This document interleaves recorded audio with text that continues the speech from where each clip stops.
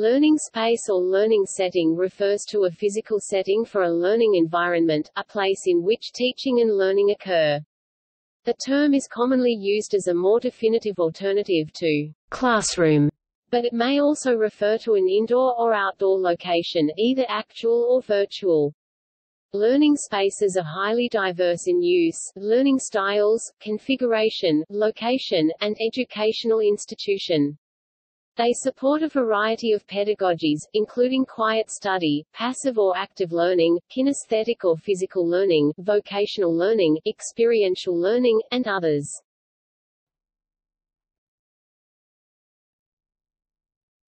Topic: History.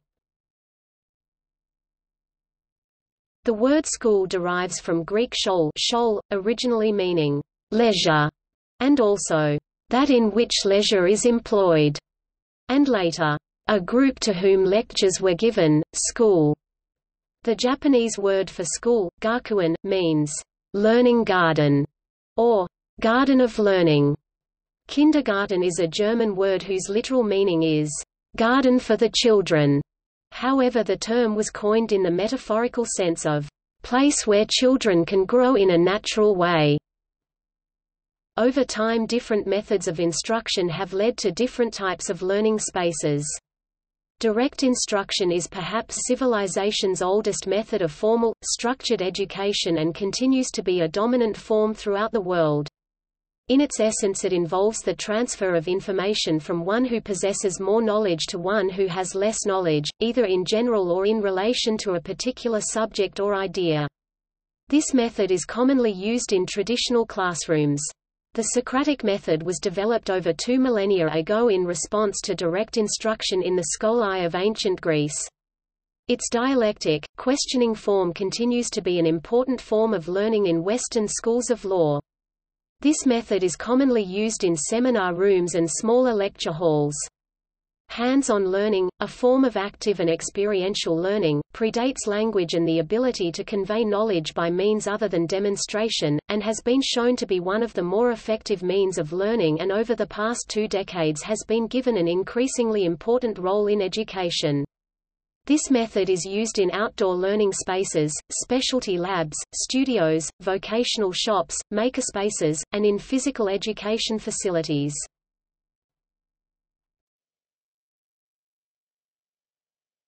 Topic: Institutions. Institutions that provide learning spaces can be categorized in several ways, including student age, kindergarten, elementary or primary school, middle school, secondary or high school academic level, school, college, university, graduate school physical, mental, or social development, special education, school for the deaf, school for the blind, etc. Pedagogy, traditional education, progressive education, Montessori, Reggio Emilia approach, Waldorf schools, etc. Subject or focus, STEM, magnet school, vocational or trades school, flight school, sailing school, dive shops, finishing school, etc. Organizational, institutional or philosophical type, public or state school, private school, independent school, community school, military school, parochial school Location, neighborhood, distance learning, online or virtual school or classroom, outdoor school or classroom Topic. Organizational models Learning environments are frequently organized into six pedagogical and physical models. Departmental model. Integrative model. Project-based learning model. Academy model. Small learning communities model. School within a school model. Topic. Significance The physical, and or virtual, characteristics of learning spaces play a strong role in their effectiveness and, by impacting student learning, on society. As Winston Churchill stated, "...we shape our buildings and afterwards our buildings shape us." The importance of interactions between individuals and their environment have long been established by Kurt Lewin's field theory and life space, Urie Bronfenbrenner's concept of microsystem, Jean Lave and Etienne Wenger's situated learning theory, and others. Research continues to show us that active learning, and learning spaces configured to support active learning, contribute to more effective learning and encourage different methods of instruction.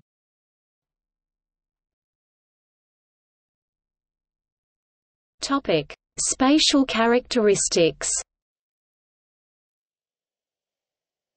Learning spaces extend well beyond real-world brick and mortar educational institutions. They are increasingly varied in style, configuration, and location.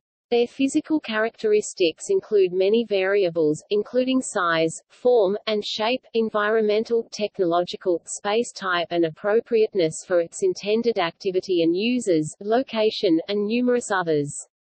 A basic tenet of learning spaces housed in buildings is to provide shelter, although many facilities from campuses to portable classrooms, do not provide shelter between individual spaces. Outdoor learning spaces rely on clothing and personal items to maintain comfort. The location of the learning space affects both its functional and operational interrelationships with other spaces, student and instructor cohorts, learning programs, and support spaces. The proportion of a space's height-width-length can affect the ability of learners to see instructional or demonstration material or the presenter. The orientation of the space towards adjacent spaces or the outdoor environment can affect activities, thermal comfort, as well as daylight penetration, if any, at different times of the day. Increased demand for flexibility and adaptability have seen greater use of operable partition walls to combine and separate spaces. Safety and security in schools, including major incidents of violence, bullying, and vandalism have led to increased use of security monitoring systems, strategies such crime prevention through environmental design CPTED, and sometimes competing discussions of transparency versus visible lockdown of learning spaces.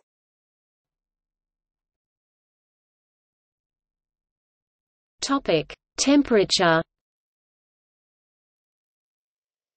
Thermal comfort of a learning space is important for student comfort, and therefore learning. This is affected by several factors, ambient room temperature, air movement, via open windows, mechanical ventilation, drafts across cold surfaces, and room fans, and solar exposure. Insulating windows, shaded windows, and careful placement of ventilation ducts can all affect the comfort.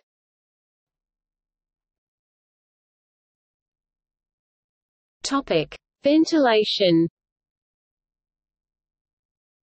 Appropriate levels of ventilation is critical to occupant health, comfort, and cognitive functions, all required for effective learning. Recent studies at Harvard University and Syracuse University reported significant cognitive impairment from impurities in the air.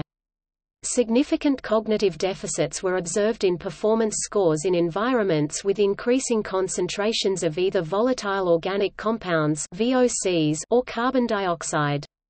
The highest impurity levels reached in the study are not uncommon in some classroom or office environments. Filtering the air to reduce dust and pollen can be important to help prevent allergic reactions in students.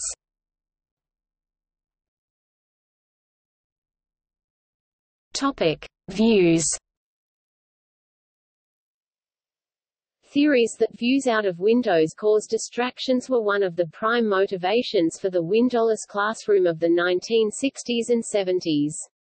More recent studies have demonstrated that views of nature potentially improve health and well-being and that more stimulating environments foster improvements in learning and retention. Ophthalmologists have stressed the importance of distant views to help relax the eye engaged in close work, such as on a video or computer monitor. Attention restoration theory suggests that views of natural scenes have the potential to restore a person's ability to focus and concentrate after intense cognitive activity.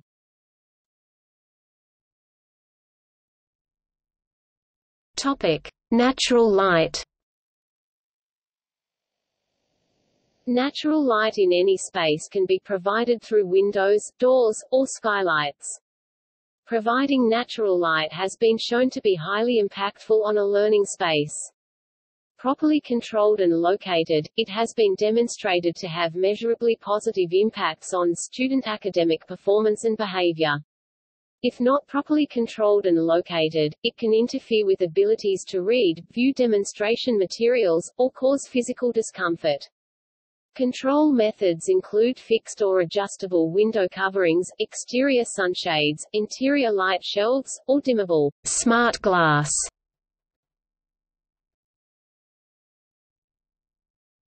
Topic: Light.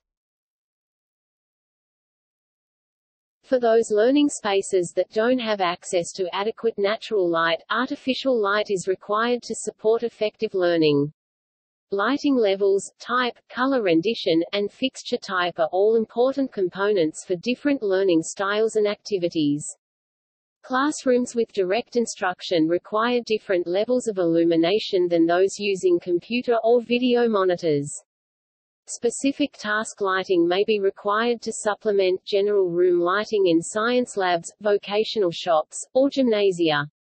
Color rendition and color temperature, the perceived color of light, can affect student moods and the educational content or project e.g. art project. As with natural light, personalizing the lighting through manual occupant controls can provide the greatest flexibility and user satisfaction.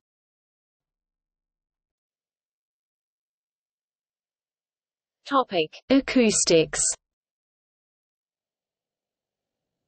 Research has shown that children require much quieter learning spaces with less reverberation to hear and understand spoken words than do adults.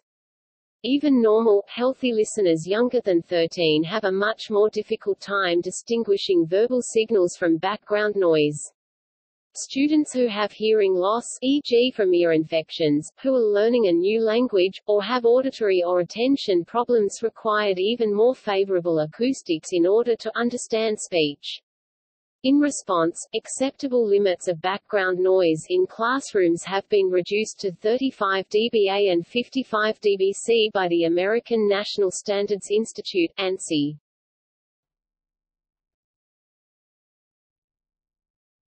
Topic: Finishes. The finishes of walls, floors, ceilings, and furniture can have significant effects on the functionality, durability, and effectiveness of the learning space. Light levels, glare, mood, and color rendition are affected by reflectance of surfaces. Acoustics are affected by the absorptive properties of ceilings, walls, and floors. Carpet reduces footfall impact noise and reverberation. Painted drywall or plaster ceilings increase reverberance and clarity of speech.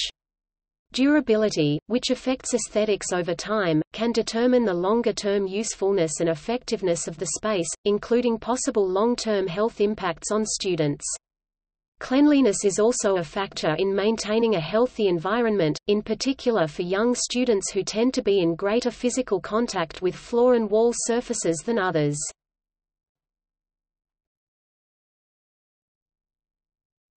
Topic: Furniture. In order for learning spaces to operate for more than a few minutes at a time, furniture for students and instructors is needed. Together with the air in the room, this is the most direct interaction occupants have with their space. Configuration and ergonomics need to be attuned to the activities in the learning space for learning to be most effective.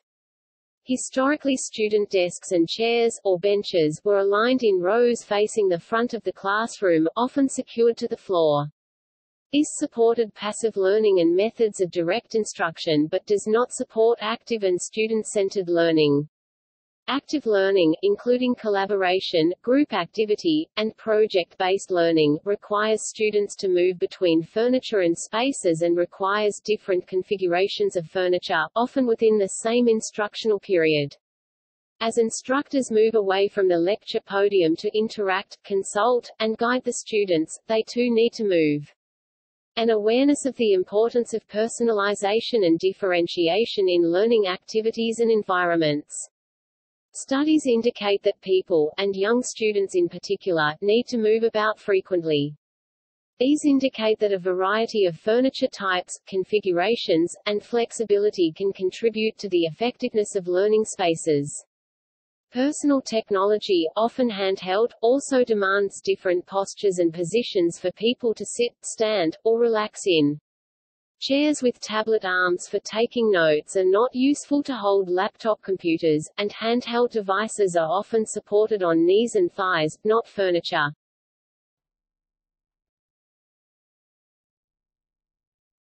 Topic: Technology. Until recently, technology in the learning space was almost exclusively for the use of instructors. Students now have greater access to classroom technology and personal technology in the classroom. With Internet access, e-books, and other digital content, the technology has moved beyond simply presentation types to actual research, generation, collaboration, and presentation or publishing. Key technologies in modern learning spaces include, projectors, interactive whiteboards and projectors, computers desktop, laptop, tablet, or mobile devices, document cameras, digital cameras, video conferencing, sound and video playback systems, voice enhancement, Wi-Fi, Internet access, and others. Mobile and personal technology is transforming the way learning spaces are used and configured. It allows learning, including research, collaboration, creating, writing, production, and presentation, to occur almost anywhere. For example, mobile devices allow an easier communication to the students. Its robust tools support creativity of thought, through collaboration, generation, and production that does not require manual dexterity.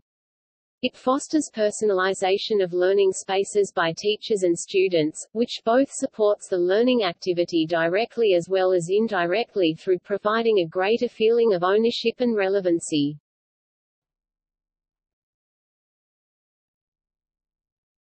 Topic: Sustainability Sustainable, or green, architecture is design that seeks to minimize the negative environmental impact of buildings through efficient and moderate use of materials, energy, and development space. It uses a conscious approach to energy and ecological conservation in the design of the built environment. The intent of sustainability, or ecological design, is to ensure that current actions and decisions do not inhibit the opportunities of future generations. Sustainable attributes are recognized for their importance in the effectiveness of learning spaces, from perspectives of occupant comfort and health, stewardship of public funds, and as demonstration tools to support sustainable initiatives or become part of the school curriculum. There are various rating systems for the performance and incorporation of sustainable features in buildings in general and schools and other learning spaces. These include requirements and rating systems from LEED BREEAM, Energy Star, Collaborative for High Performance Schools, the 2030 Degrees Challenge, Living Building Challenge, various state-level standards for schools e.g. Washington Sustainable Schools Protocol, which may be mandated, encouraged, or voluntary, depending on the jurisdiction.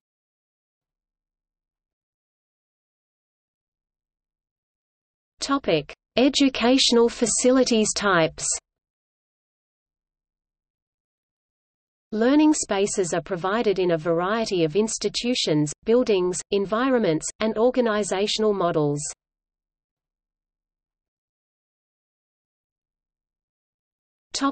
One-room schools This model, also termed shrools, were commonplace throughout rural portions of various countries in Europe, North America, and the Commonwealth throughout the 19th and early 20th century, primarily in rural country, and small towns. The design was very straightforward, all of the students met in a single room with a single teacher teaching academic basics to several grade levels of elementary age students. While in many areas one-room schools are no longer used, it is not uncommon for them to remain in developing nations and rural or remote areas, including remote parts of the American West, the Falklands Islands, and the Shetland Islands.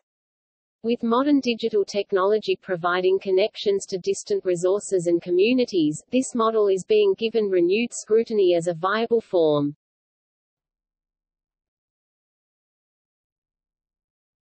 Topic: Traditional schools. This model, also known as factory model schools, which developed in the late 19th and early 20th centuries, are the most common form of school in many parts of the world. Classrooms and the facilities were configured into assembly lines, similar to the pedagogy that shares its approach. Standardization and efficiencies of space, time, and materials are key components of this model. Student desks and chairs were arranged in rows, often secured in place, facing the teaching wall. Classrooms were also arranged in rows along double-loaded corridors. This model is also known as the cells and bells model. After World War II and the emergence of the international style of architecture, mass production, maximization of efficiencies of space and volume, and cost-efficient materials replaced ornamentation and aesthetic considerations in design, so the schools began to look as factory-like as they were configured and operated.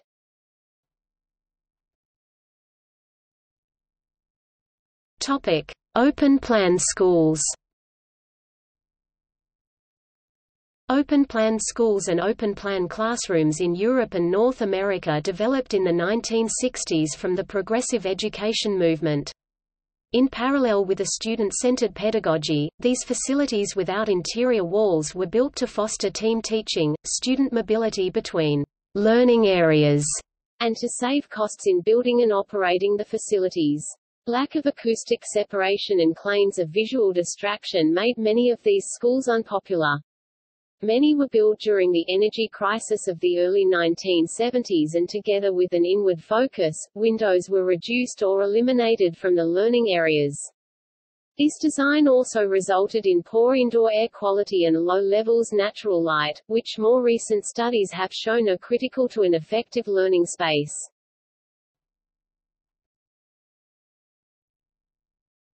Topic: Small learning communities.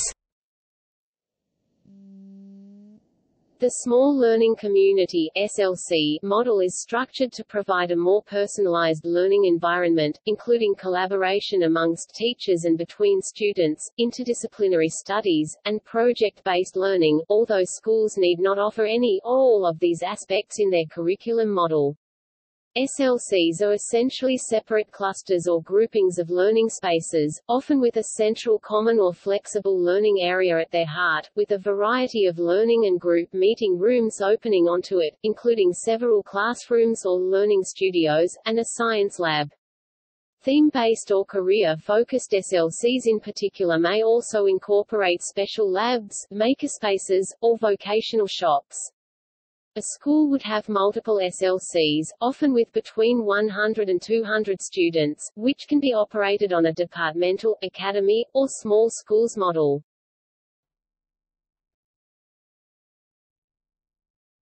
Topic: Open air schools. This model, also known in some areas as California-style schools, are collections of buildings that together form one school or learning institution but are not connected by indoor, enclosed corridors.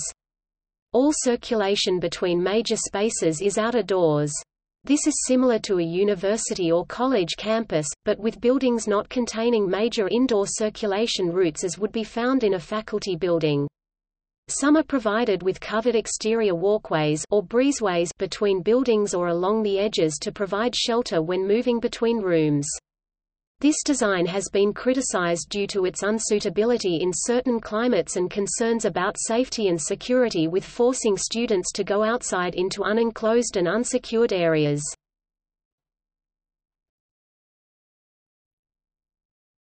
Topic: Portable classrooms. This model consists of modular buildings that are also colloquially known around the world as portables, bungalows, T-shacks, trailers, terrapins, huts, T-buildings, or relocatables. They are prefabricated in a factory and delivered in two or more sections to an educational facility. There they are assembled into one or two classroom-sized buildings, normally without permanent foundations so they may be removed. Their normal purpose is to provide temporary classroom space for schools that require additional instructional space, either standard classrooms or for specialty art, science, or other programs.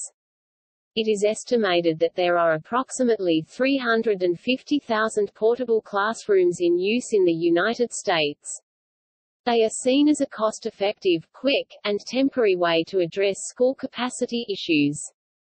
However, they often remain in use long after their useful lifespan, are not as energy efficient or durable as permanent buildings, and have been linked to health concerns in students from poor indoor environmental quality.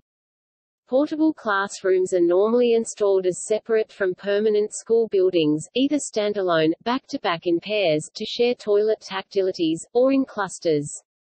As such they can form a distinct campus unto themselves or as they are often considered as temporary solutions to a problem, are not adequately planned for in terms of space, location, or services. They are also not designed to provide an optimal learning space tailored to the site, either with access, direction of natural light, or integration with other learning spaces in the school.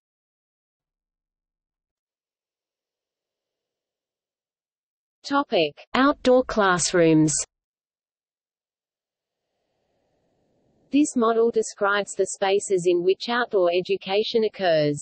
These spaces can be structured or fully natural and organic.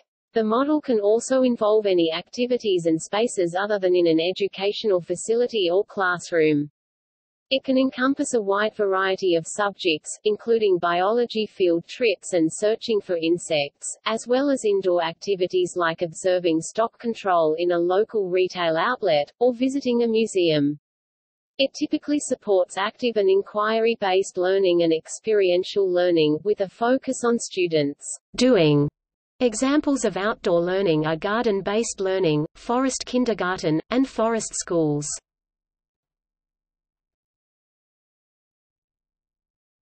Topic: Virtual classrooms. This VLE model is a web-based environment or platform for learning, usually within educational institutions. VLEs typically, allow participants to be organized into cohorts, groups and roles, present resources, activities and interactions within a course structure, provide for the different stages of assessment, report on participation, and have some level of integration with other institutional systems. VLEs have been adopted by most institutions of higher education in the English-speaking world. A virtual school is an online-based educational institution that may or may not have any bricks and mortar facilities open to students. The physical environment required to support this is essentially anything that which supports a person using the connecting devices desktop, laptop, tablet, or handheld devices. Key requirements include suitable ergonomic furniture or workstations, power, connectivity, Wi-Fi, lighting control, and acoustic isolation to minimize unwanted distraction. Increasingly this can be almost any environment with access to a wireless telephone, internet, or communications network.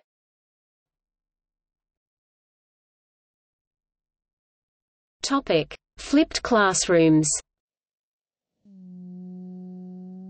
This model is a learning space that combines traditional bricks and mortar and virtual instructional spaces. This type of blended learning reverses the traditional educational arrangement by delivering instructional content, often online, outside of the classroom and traditional homework-style activities and move the classroom. This approach therefore relies on the transformation of students' after-hours locations, home or other, into learning spaces. This is similar to the educational approach used at higher grade levels and higher education institutions where more content is sourced outside the classroom and discussion, inquiry-based learning, and hands-on projects are undertaken at the educational facility. Outside of instructional hours, the digital environment becomes as integral as the physical environment, both of which are beyond the control of the instructor and increasingly so by the student.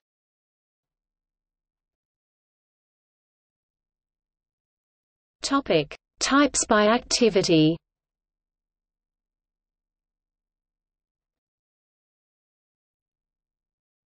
Topic: General education. General education instruction is most commonly undertaken in classrooms.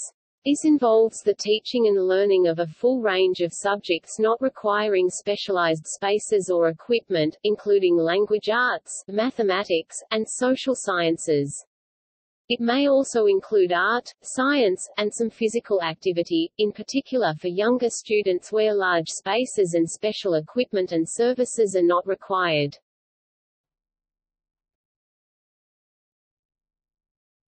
Topic: Specialized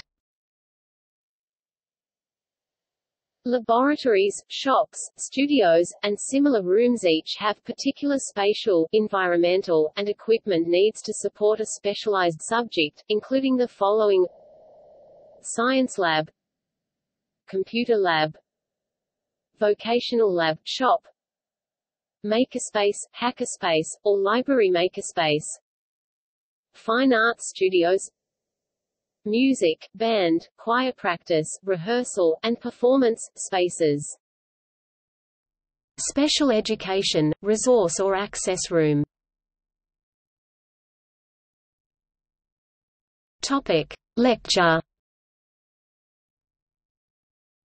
Lecture halls have been a primary learning space in colleges and universities for centuries. This spatial type supports passive learning and direct instruction, as well as the Socratic method, a form of cooperative argumentative dialogue between students and instructors.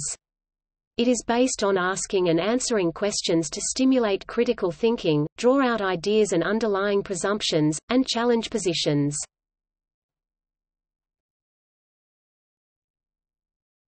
Topic: Performance Theatres and auditoria are normally found in larger and higher-level learning institutions whose population base and curriculum support these spaces. Both are also frequently made available for use by outside community groups. An auditorium may serve as a performance space or a large instructional venue such as a lecture hall. It may or may not have a stage and its functions are sometimes combined with a cafeteria or lunchroom, such as in a cafetorium. A theater may share similar functions but normally have a larger stage, partial or full-height fly loft, an orchestra pit, and a higher level of theater equipment and systems. A black box theater is also a space devoted to performances and rehearsals, although in a smaller setting and without a formal stage. A school theatre also supports drama and other educational programs that involve producing a performance, including students learning to operate the theatre equipment, rigging, and sound and light systems. These differ from non-school-based theatres as they may include additional safety features and space for instructors to demonstrate to students, as individuals or groups, in areas that normally might be sized or configured to have only one or a very few experienced operators.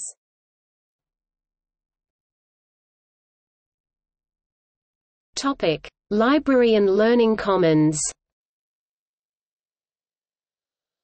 A school library or a school library media center is a library within a school where students, staff, and often parents of a public or private school have access to a variety of resources, including books, periodicals, and other media. The library is sometimes referred to as a resource center or media center or may include these as components within the library. Libraries frequently include instructional and study space for individual or groups and in recent years have included Internet-accessible computer stations or labs. A learning commons or digital commons, as well as the bookstore model of a library that focuses on customer service, and bookless or digital libraries, are frequently cited as models for the library of the future. Both libraries and learning commons are increasingly used as a place for active learning and hands-on activities, including having tools, equipment, makerspaces, and or publishing services available for borrowing or use. Emerging 21st-century trends involve locating the learning commons to a more central position within the school, opening them to corridors, distributing them into smaller components that are more accessible to learning communities, and combining them into a central commons or lunchroom. Environmental characteristics such as acoustical dampening and separation, and controlled lighting to support both highly focused individual activities e.g. reading, online research, or group instruction or project work are increasingly critical to support the varied activities in these environments.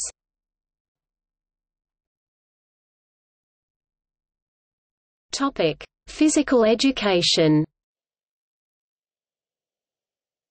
Learning spaces for physical education normally include a gymnasium and supporting spaces, such as locker rooms, as well as outdoor play fields and courts for athletics, track and field, and games. This may include soccer, field hockey, football, baseball, softball, volleyball, basketball, tennis, and others. Larger facilities, such as higher-level schools, colleges, and universities, frequently include indoor weight rooms and fitness rooms, as well as natatoria and indoor tennis courts. These spaces each have a specialized degree of spatial and environmental characteristics and requirements to suit their activities, including size and environmental attributes to provide an effective learning environment. Outdoor gyms provide fitness and exercise equipment and spaces suitable for structured or informal learning and practice, typically in parks and public locations. Gymnasia are also frequently used for whole school gatherings and community events which require additional projecting technologies and sound systems.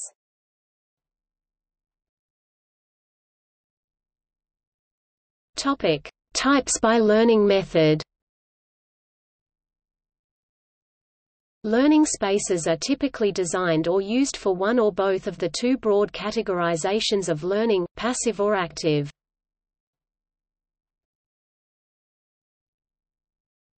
Topic: Passive learning, direct instructional. Passive learning and direct instruction are teacher-centered pedagogies that are characterized as sage on the stage. They are the most common form of instruction in historic and current learning spaces that are typified by the standard classroom model, space for 15 to 40 students and one instructor, a fixed teaching station or teaching wall with a writing or display surface composed of one or more blackboards or whiteboards, and students sitting at desks, tables, or benches, traditionally arranged in rows facing the teaching wall, one wall with windows, one interior wall backing onto a corridor or outdoor outdoor circulation path, with a door, and typically without glass to minimize student distraction. Wall surfaces may have additional display or writing surfaces for lessons or instructional material, a counter with a sink for lower-level grades who might take art classes in this room, and in the lower grades, cabinets or cubbies for student coats and books. Historically the furniture in school classrooms would have been fixed, as it typically was and continues to be in lecture halls with stepped, sloping, or tiered theater-type seating. In religious spaces such as churches, the instructional station is at or near the altar or the pulpit with the learners seated in rows of chairs or pews facing the speaker. This prescribed unidirectional format facing the instructor supports direct instruction by having instructors and learners face-to-face. -face. Opportunities for interaction between students is limited.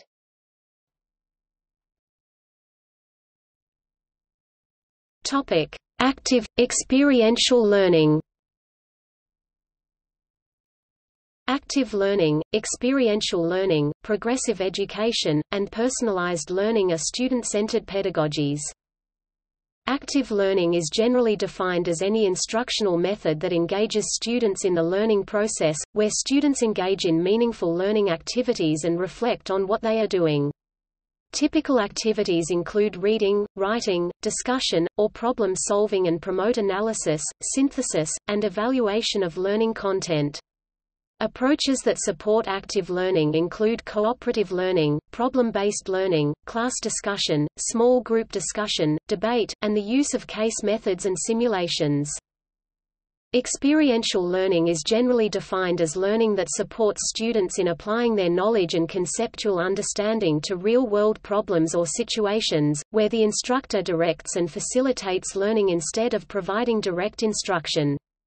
Typical activities include case studies, problem-based studies, guided inquiry, simulations, experiments, and art projects. Physical learning spaces that support experiential learning include career and technical education (CTE) environments such as family and consumer science labs, sewing, culinary arts, vocational shops, music rooms, performance spaces, art studios, and makerspaces. Progressive education shares many characteristics of personalized learning and differentiated learning as well as physical learning spaces that support them. A pioneering design for progressive education-based learning spaces is the 1940 Crow Island School in Illinois. The configuration of classrooms, adjacent outdoor learning and play spaces, and the relationships between the spaces were designed to support individual, student-centered learning, including inquiry and personalized approaches. Differentiated instruction or differentiated learning is intended to ensure that all students grow in all key skills and knowledge areas, to encourage students to become more independent learners. The instructor closely assesses and monitors skills, knowledge levels, and interests to determine effective ways for all students at all levels of skills and with different interests. The physical learning environment requires a variety of different spaces and configurations, whether they are in multiple fixed configurations or in readily flexible and adaptable ones e.g. movable walls. Different configurations of students require multiple types and arrangements of furniture, areas for quiet individual work, and areas for group work. Personalized learning is a concept that tailors education and learning to meet the different needs of students in terms of the pace individualization, the approach differentiation, and the learner's interests and experiences. Personalization is broader than differentiation or individualization in that it affords the learner a degree of choice about what is learned, when it is learned, and how it is learned. It has been described as learning anytime, anywhere or any place. A key feature is it may provide learners the opportunity to learn in ways that suit their individual learning styles and multiple intelligences. The School of One utilizes a digital delivery model for personalizing individual students' curriculum and learning. Physical attributes of active learning spaces are more specialized to meet the spatial and environmental characteristics that support the learning methods. These may include larger spaces with different levels of finishes, and increased acoustical treatment to provide separation between different activities and groups of students.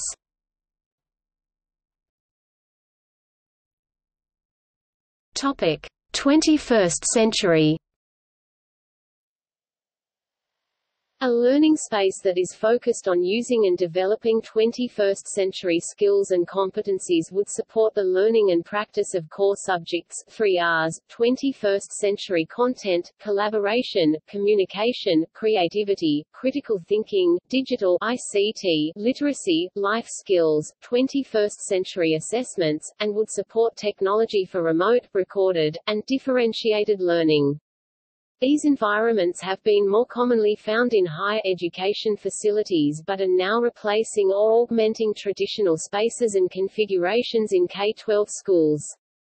21st-century skills-based learning spaces also share similar physical needs to progressive education environments. 21st-century learning spaces support multidisciplinary, team-taught, interactive learning, not restricted by conventional class period-based constraints, within a setting that supports social interaction, and fosters student and instructor engagement. A variety of differentiated, interrelated, flexible spaces that are both functional and appealing aesthetics are important to encourage attendance and engagement.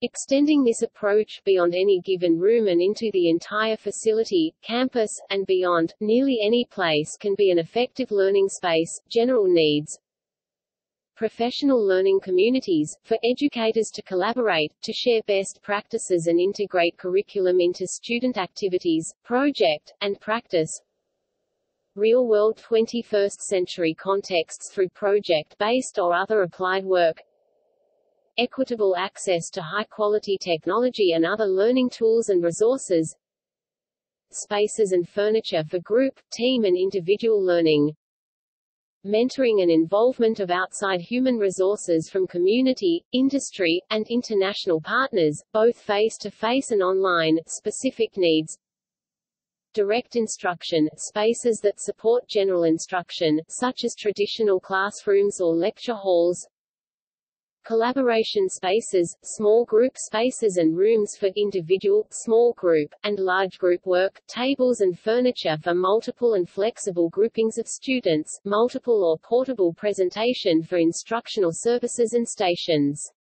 Lack of hierarchy, circular tables. Multi-directional, no single, front. Labs, critical thinking, labs, research, inquiry, Makerspaces, hand-on learning, creativity, critical thinking, collaboration, applied work Presentation spaces, communication, collaboration, applied work Flexible spaces, multiple, mobile, or no defined teaching stations, a variety of other spaces and furniture, variety of sizes. Access to digital technologies for research, rehearsal, presentation, creation and for communication and collaboration, either in person or distance. Technology, communication, creativity, online collaboration, Food and beverages, access to, for longer-term engagement, developing engaging and fun places students will want to learn and work in, similar to real-world workspaces, demonstrating relevancy. Professional spaces, educators' offices and collaboration rooms outside of individual classrooms, small learning communities to foster personalized interaction amongst educators.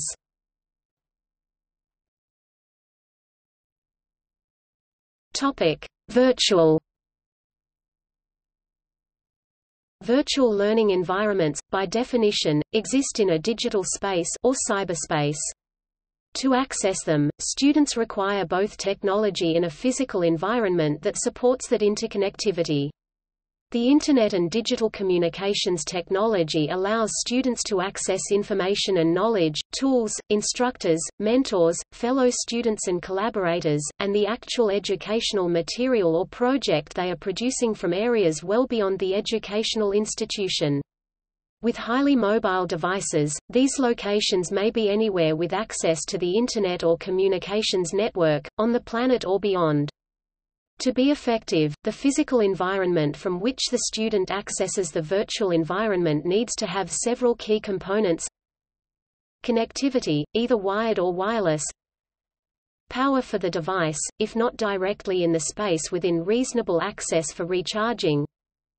Suitable ergonomics Environmental conditions that provide basic needs and comfort, that eliminate distraction and support focus. Personalization for students to choose what is preferable for them also applies to the virtual environment. Topic. See also Association for Learning Environments